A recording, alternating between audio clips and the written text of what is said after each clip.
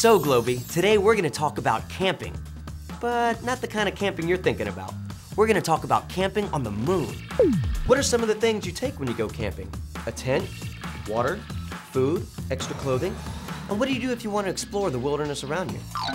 That's right, you just climb out your tent and go exploring. With your parents' permission, of course. But what do astronauts take when they want to go camping on the moon? And what do they do when they want to go exploring? In addition to food, water, and clothing, they also have to bring their own air.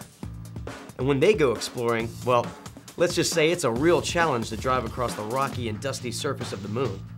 For the last few years, NASA has been busy developing new vehicles for astronauts to use when they return to the moon. One of those vehicles is called the Lunar Electric Rover.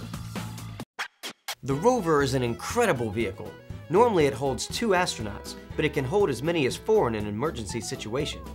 And it can drive across the moon at 10 kilometers per hour. That's around 6 miles per hour.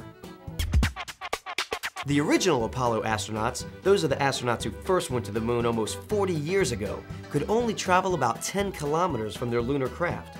But NASA's new Lunar Electric Rover will allow astronauts to travel up to 240 kilometers away. That's about 150 miles.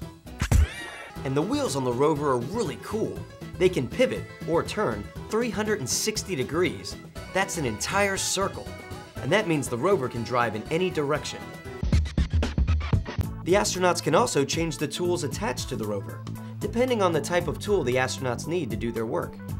But the most important thing the rover will do is provide a safe, protective environment for the astronauts inside. There will be oxygen inside the rover for the astronauts to breathe.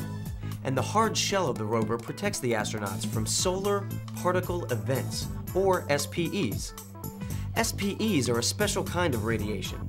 They are made up of tiny particles that erupt from solar flares and can be extremely harmful to our astronauts.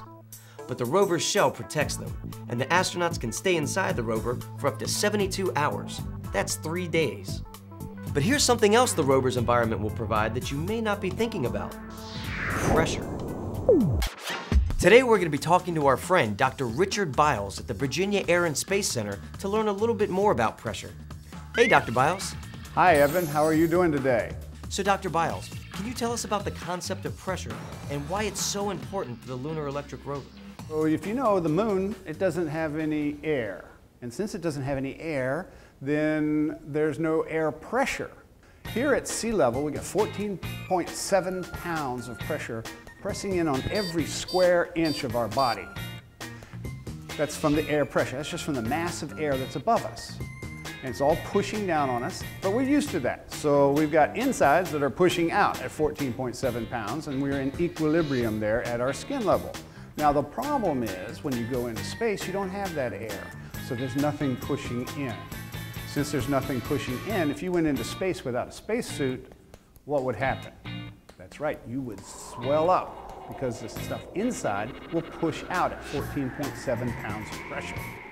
And we don't want that to happen because swelling up could be painful and even result in death and injury. So what I think we ought to do is try a little experiment just to show you what happens in space where there is no air pressure. And I have a bell jar here, and a bell jar is a thing I can make a vacuum in. I have a vacuum pump on the floor, and I have gotten a small representative of the astronaut corps.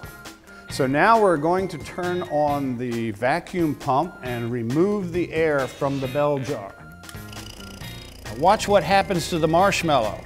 As the air is removed, the marshmallow swells up, just like we would in space without our pressurized rover or our spacesuits.